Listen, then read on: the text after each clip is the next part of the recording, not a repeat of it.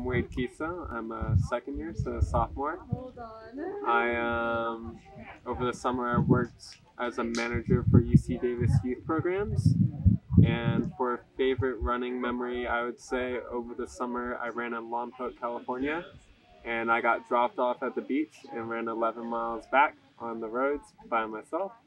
Um, it was just really nice because it was like you go from uh, um, the sea weather, so it's like 60 degrees to like 80 as you get into town. But it's really nice because you're in this like valley coming off the beach, and there's like mountains to your right, and you're there's just a whole bunch of farms and everything. It's absolutely beautiful, especially as like the mist starts to go away as you get farther and farther away from the ocean. Um, I would say that was my favorite memory as of recent. Yeah. Great. Uh, where are you from, Wade? I'm from Folsom, California. Folsom, about 40 minutes from Davis. Not too far from Davis. So going into your second year, um, what uh, what made you want to come to UC Davis? Uh, well, it was close for one. Um, running was an opportunity. Um, and I want to, uh, my major that I'm actually transferring into is biomedical engineering.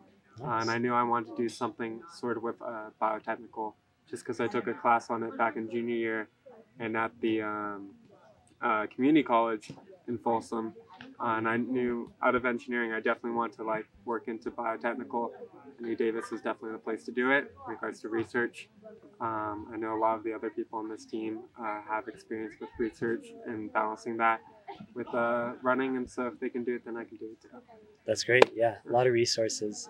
Um, so going into that major, um, where do you see yourself taking that after graduation?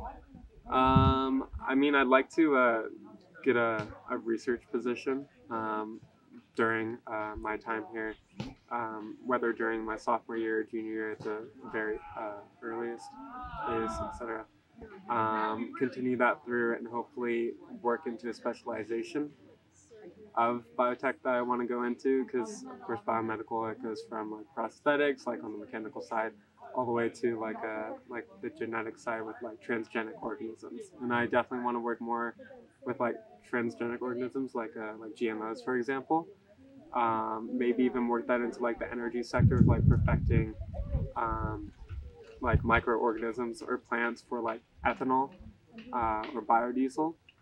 So I definitely want to work into research with that, and then hopefully um, continue that research as a paid position outside of college. That'd be awesome. Yeah. Uh, and uh, last question. Although you're a sophomore, you have some wisdom. What advice can you give to your freshmen that are just coming in? It gets better. Gets better. um, yeah, definitely. I think it's pretty normal for like freshmen to have that whole like anxiety. Of course, as Emma was talking about, uh, it's a whole new thing getting into college and then getting into the whole D1 sector as well. Um, I think it's normal to have this kind of idea in your head maybe you're not good enough because you're new to it.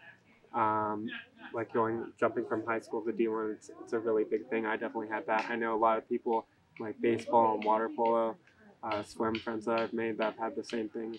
Uh, maybe they don't feel good enough coming into the sport uh, performance wise. Uh, it gets better 100%. Um, and that, that's the whole fun in it. It's like accepting that with yourself um, and just seeing you go.